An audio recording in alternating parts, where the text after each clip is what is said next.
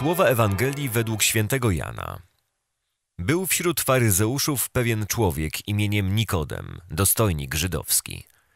Ten przyszedł do niego nocą i powiedział mu: Rabbi, wiemy, że od Boga przyszedłeś jako nauczyciel. Nikt bowiem nie mógłby czynić takich znaków, jakie ty czynisz, gdyby Bóg nie był z nim.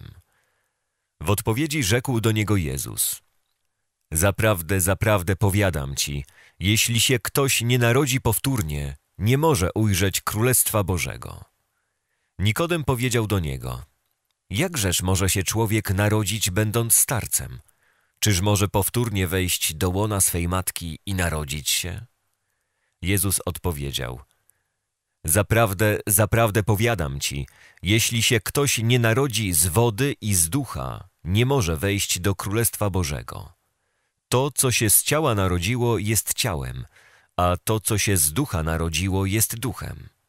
Nie dziw się, że powiedziałem ci, trzeba wam się powtórnie narodzić. Wiatr wieje tam, gdzie chce i szum jego słyszysz, lecz nie wiesz, skąd przychodzi i dokąd podąża. Tak jest z każdym, który narodził się z ducha. Okres wielkanocny to czas, w którym Kościół podaje nam do lektury kolejne fragmenty Ewangelii według świętego Jana.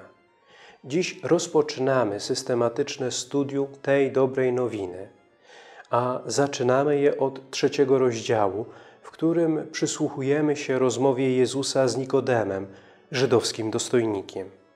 Jezus zaprasza Nikodema, a wraz z nim każdego z nas, do powtórnych narodzin. Pierwsze narodziny, te biologiczne, miały miejsce już jakiś czas temu. Drugie narodziny ze swej natury, jak wyjaśnia Jezus, są duchowe. Rozpoczynają się przyjęciem wiary w Jezusa i Jego nauczania, a potwierdzeniem tych duchowych narodzin jest sakrament Chrztu Świętego.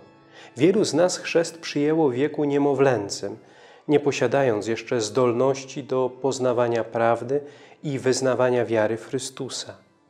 Pytanie o nowe narodziny w naszym życiu pozostaje ciągle aktualne.